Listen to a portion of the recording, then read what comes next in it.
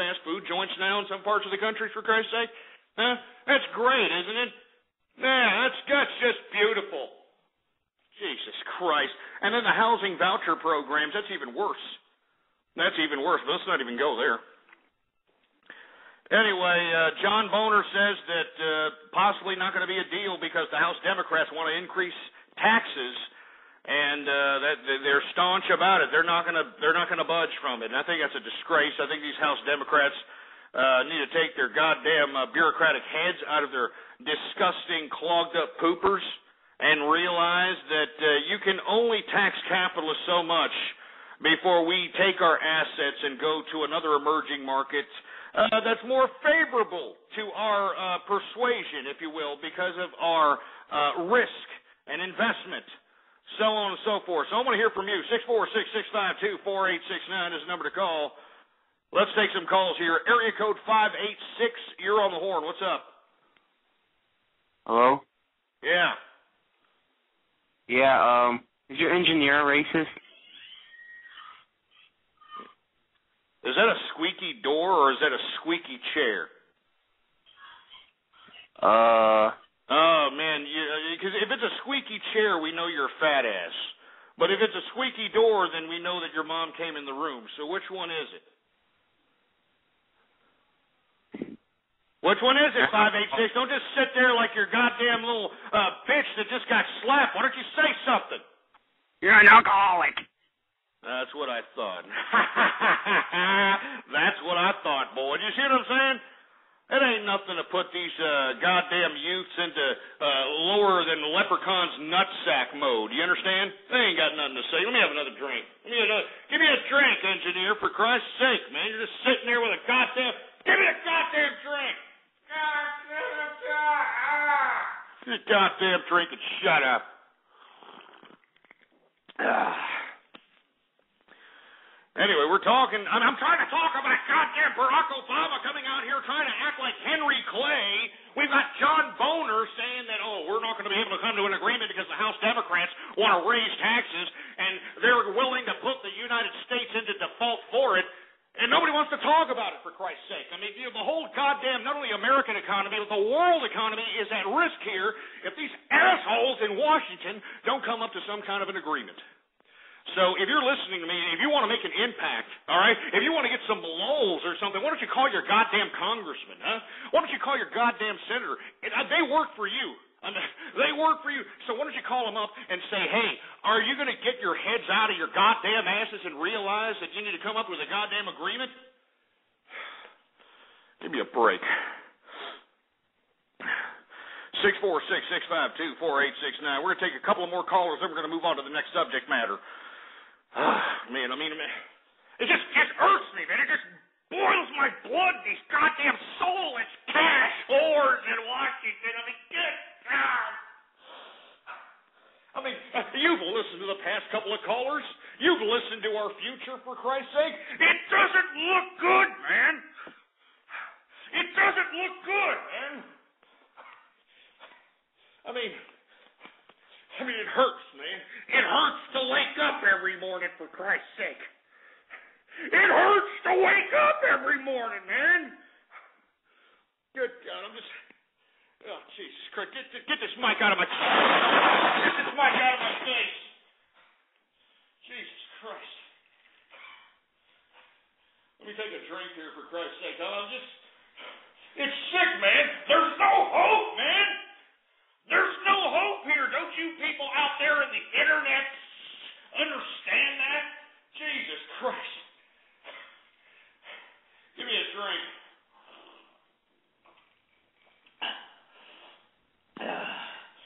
All right, give me the mic. Give me the goddamn it. Goddamn, goddamn mic. Sorry, folks. I'm just I just get jaded. You know what I'm saying? I mean, you, you if you were the host of this broadcast and got the amount of ignorance, you know, utter bowels of society coming at you with sentence fragments and utter, you know, borderline mental retardation, uh, you'd be a little, uh, you'd be a little upset too. You know, you'd be a little jaded too, for Christ's sake. Jesus Christ. I mean, I, I, I, I, mean, I try get up here for three hours. I, I tell you people, you know, just unbelievable insight about finance, about economics, about how to make money. I mean, I can't take this crap anymore. I mean, I'm depressed. I can't take this crap for Christ's sake. Give me a crap for Christ's sake. Jeez. Give me a drink, man.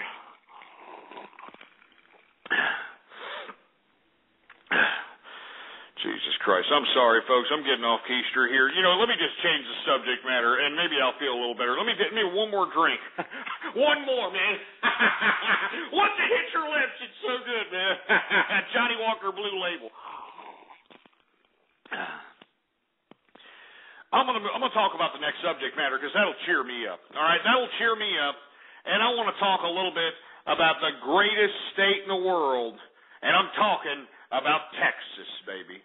That's right. I'm going to talk a little bit more about Texas because let me tell you what Texas is doing. It's saying no to the federal government when it comes to micromanaging regulation across the United States, all right? And what is causing the big uproar out here in Texas? Well, a freaking light bulb. That's right, a freaking light bulb. That's right. If you are unaware, there are no more incandescent light bulbs. And for you simplistic idiots that don't know what incandescent light bulbs are, well then Google it up yourself, you morons, all right? Anyway, the federal government has outlawed them. You can't sell them, you, you, you're not supposed to have them, so on and so forth, all right? Now, what light bulbs are you supposed to use? Well, you're supposed to use these ridiculous fluorescent lights, which if you happen to break, believe it or not, it's a hazardous material uh, you know, that you shouldn't breathe in. I mean, you got it's got mercury in there and all kinds of crap, which are like what are they? Uh, six, seven bucks for one of these little fluorescent light bulbs. Or you can go get an LED light bulb, which is just as expensive, if not more expensive, uh, than the fluorescent light bulb. And I mean, it doesn't make any sense to me. I mean, why exactly is the government, you know, cracking down on incandescent light bulbs when guess how much it costs to buy an incandescent light bulb. Huh? Guess how much? 40 cents. All right? 40 cents is how much it costs for an incandescent light bulb, and then you've got the government saying, "No, no, we're going to we're going to regulate the mar- we're going to regulate the market. We're going to make it illegal to sell incandescent light bulbs, and we're going to force the American public in a tight economy, in a you know a jobless rate spiking economy, and, and a non-job creating economy, we're going to go out there and force these people to pay nine, ten bucks a goddamn, uh, you know, uh, fluorescent light, LED light, so on and so forth. All right? You know it and I know it. I think it's a disgrace. 40 cents, all right, is what an incandescent light bulb costs. 40 cents, and the government, the federal government, the one that cares about you, wants you to pay, you know, eight, nine dollars for a damn fluorescent bulb so that you can save the goddamn. Uh, wait, wait, wait, wait. What are we saving? Right? What are we saving? The bulb breaks, mercury is in the air, you're infecting your family. So that's what fluorescent gives you. All right, LED, I mean, you know, okay, yeah, it's more energy efficient, but it costs out the ass. All right? Well, anyway, out here in Texas, we finally said that the federal government can't micromanage us anymore. We're gonna we're gonna keep manufacturing incandescent light bulbs out here. It's getting to the point now where it it may become a black market product. I mean, this may be the equivalent of uh, you know smuggling marijuana from state to state. I kid you not. I kid you not. If you buy light bulbs in Texas and you go across Texas lines into the greater United States of America, you could be committing a federal crime. All right? I kid you not. This is how I see it. This is why it's going to go through court systems. It's going to go through a whole bunch of nonsense. All right? Read up for it on your on your own, for Christ's sake. Incandescent light bulbs are going to be like cocaine. They're going to be like cocaine. I mean, just imagine you can come down here to Texas and get 40 cent light bulbs, right? And you can kind of smuggle them up like a mule to like uh, I don't know, one of these states out here that are forced to, you know, pay eight, nine dollars a goddamn uh, a fluorescent light bulb, go up there and say, here, I got, I got an incandescent light bulb right here, two dollars, you know, two fifty, three dollars. Here, come on. I mean, you, you understand? incandescent light bulbs becoming cocaine. It'd be great. I mean, only in America, only in an over-regulated, over-bureaucratic, over-big brother government in our face, America. What do you think about this? Area code 226, you're on the horn. What's up? Uh, I don't really care. I don't really care actually. Yeah, that's a st- that's such an old prog. It's stupid. 209, what's up? Fuck you, Texas. Fuck you, Lone Star Man. Yeah, yeah, real funny. Yeah, real funny. Oh, ha, ha, real funny. Asshole. 780, what's up? Shit. Yeah, you're you're you're an idiot. Uh, let's take some Skype callers for Christ's sake. Who we got here? We got uh, Owl Mix. What's up? I'm not a racist. That's what's so insane about this. I'm not racist. That's what's so insane. I mean, first of all, uh, I couldn't understand what the hell you're saying. Second of all, uh, overmodulated bass. Uh, third of all, get a new freaking phone, you stupid milky licking piece of chicken eating corn boy crap. Uh, 786, you're on the horn. Hello? Yeah. Ghost. Hey, what's up, man? How's it going? Not much. Um, actually, I have something to say about those incandescent light bulbs. Go for it. Yeah, that, that I mean, I live down here in Florida. I'm using them right now. and I'm in my bathroom. This that is just the stupidest thing I've heard. I used to live in Texas, and I mean, I gotta say, I love it. I, I love it a lot more there than here. But I mean, that's just stupid. I mean, they're not thinking about the people that have that have the families, and if one breaks, they don't know about it. Did they even did they say anything about it being about it being No, hazardous? no, th- this has actually been a law that has happened. I mean, you know, if you're buying incandescent lo- light bulbs right now in any store, they're the last remaining left on your shelf. Uh, this was passed, uh, you know, in, in uh, one of the many bills that were passed during the tenure of the liberal-dominated government when the Democrats had control of the Senate and the House and the presidency, which was after 2008. They passed this crap to where it's illegal. It's illegal to have these. It's illegal to sell them now. And the only thing that you're able to buy legally under the federal mandate. Remember, this is a federal mandate. This is, that means that the federal government is forcing everybody in the nation to oblige this. That they need to buy fluorescent. They need to buy LED. And like you said, I mean, what, what, what about people with families? What about people with, uh, you know, uh, that use a lot of electricity? That you know, that, that bulbs go out. Uh, you know, that bulbs get cracked.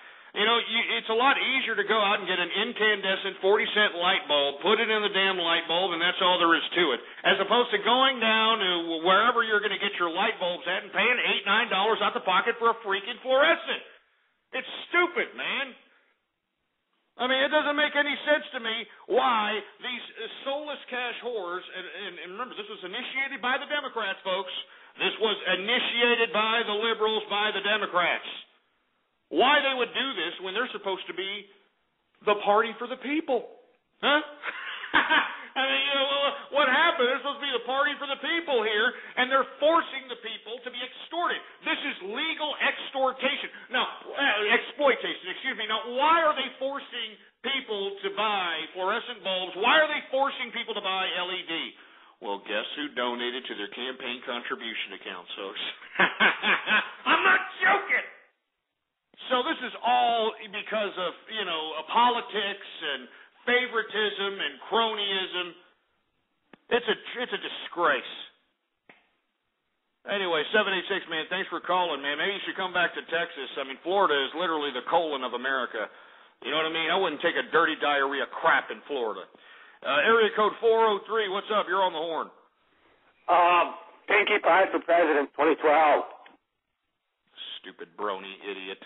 All right, did everybody, everybody see my tweet of a brony uh, weekend? For Christ's sake, I mean that was uncovered to me by a, listener who tweeted that, and I couldn't believe it. You know, I couldn't believe it. Uh, it it's just it's sick. You know, it's just it's just sick, sick ass brony, twisted uh, ass clowns. You know, uh, borderline. You know, Woody Allen butt loving pedophile. For Christ's sake. Jesus Christ. Who else we got? 208. You're